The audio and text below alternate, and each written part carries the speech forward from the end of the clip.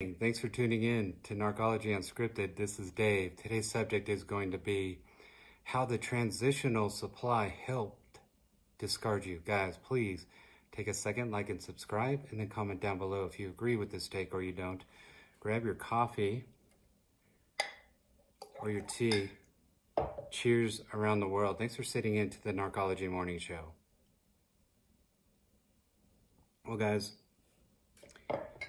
First of all, keep in mind they have a people addiction. So in order to leave anybody, they need someone into place. If they have NPD, they're not just going to leave you. They need someone in place because keep in mind they're on a loop and they don't want to be discarded. They want to beat you to the punch. They have that internal clock going constantly. Are they putting up with the baloney? Are they getting tired of me? Are they, they know that they're on a loop. They know what the signs to look for. And when they see these signs, they start conditioning um, your backup. They start looking for that, they want that viable grade A supply, empathic person. That is their number, number one goal for a, like a long-term relationship. But what, what happens is, a lot of the cases, they made a mistake. They got with another narcissist wearing a mask. It happens all the time. If you think about the harem garage with a narcissist, they are stuffed to the rafters with other narcissists and codependents. They come out of the same house of abuse. So both codependents and narcissists need exterior sources to validate them, okay? They both somewhat have a people addiction, especially narcissists. And so I call these transitional, transitional fuel sources, guys. And they, they need these individuals because of the fact that narcissism is so prevalent and that their counterpart, their new supply could be playing them as well, wearing a mask. And so if that's the case, right away, they're going to move out from the new supply. They've already burned a bridge with you.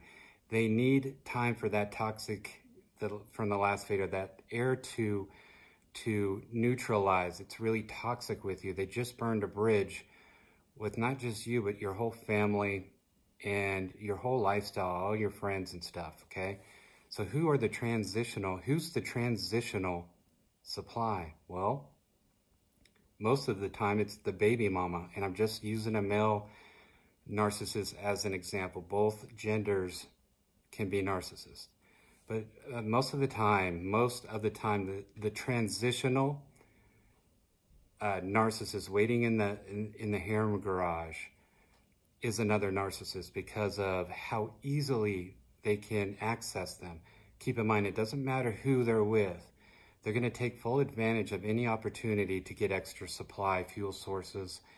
Um, it doesn't matter if they're in a relationship. It does not matter. They're going to call on that other narcissist to come and be there. They hate each other. In fact, you can remember saying, um, hearing how much they disdain each other and they treat each other like crap. But it seems like if you can look back on your relationship, them saying that, yeah, that person helped me. that person helped me move in here. That person helped me move in there. And you're starting to realize that the baby mama is always in the picture when things don't go well with their relationship. Well, that's not going to change with you. And guys, typically they don't tell the transitional supply that they're grooming an empath as your backup. And it's hard, sometimes it's hard for, for the, uh, the narcissist to balance all of this because they have to somewhat burn a bridge between the parent because and the, and the child because there are bonds being formed between you and their kids.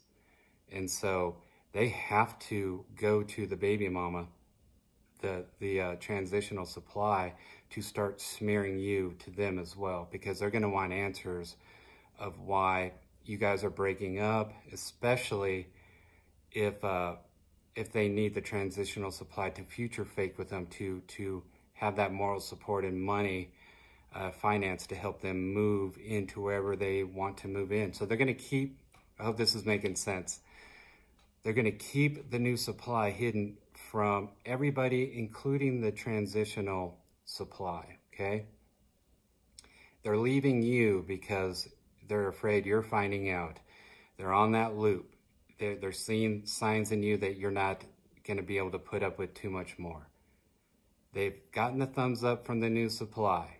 The new supply says, yes, I'm, I'm all in.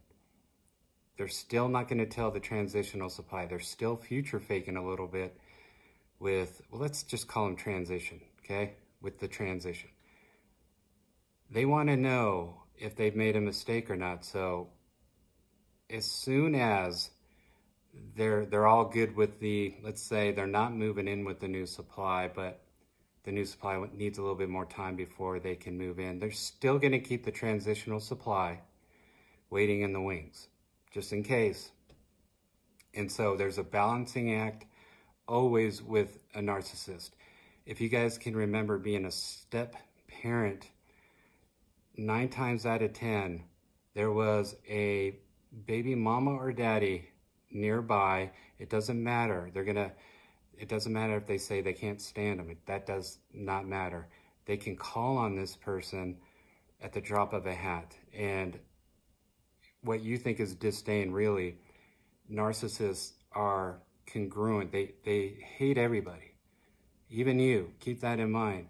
But they need fuel.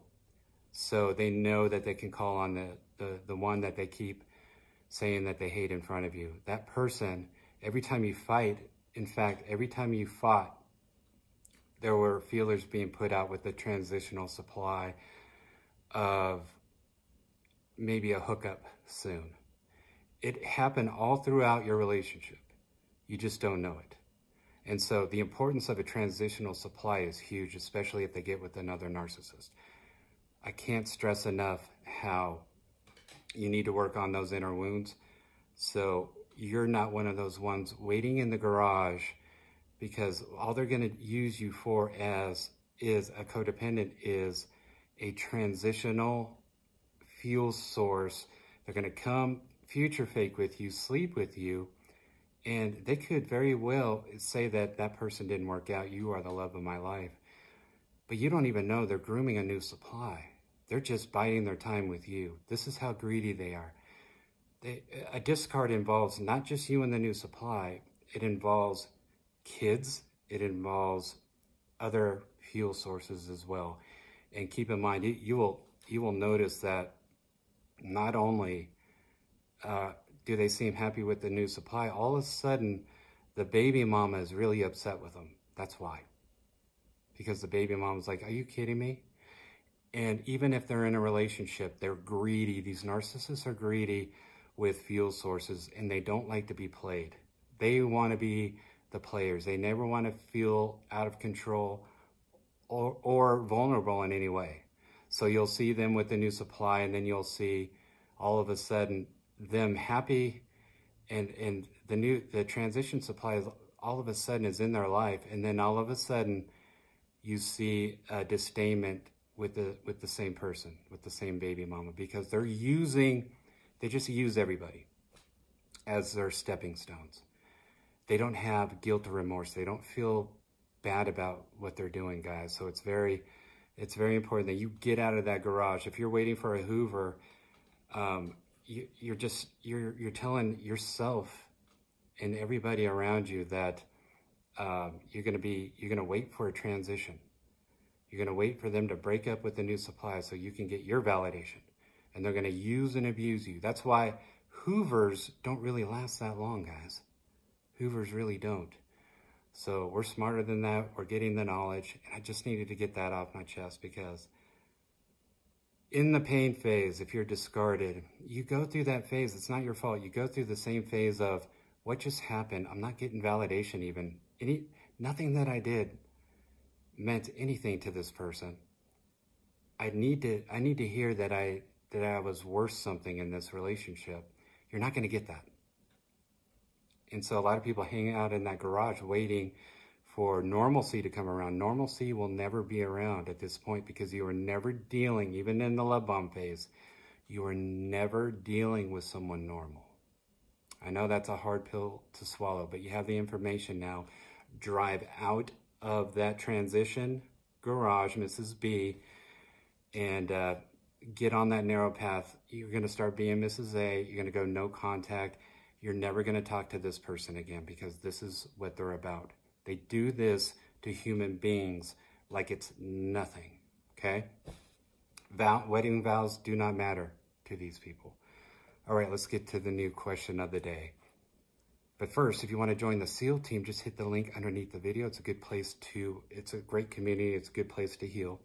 New question is, who, who found out that there was a transitional supply, a baby mama, baby daddy, also waiting in the wings, who were also betrayed by the narcissist, transitioning to the new supply? Comment down below. A lot of, a lot of people are going to be like, I get this now. I get this. Guys, there's once you get it, once you get it, they're simple and they don't change. And so that's why you have to go and see no contact. You guys be blessed. It's Friday. Have a great weekend. I might do another video this weekend, but I'm not sure. But uh, you guys be blessed and just have a great weekend. Be blessed, guys.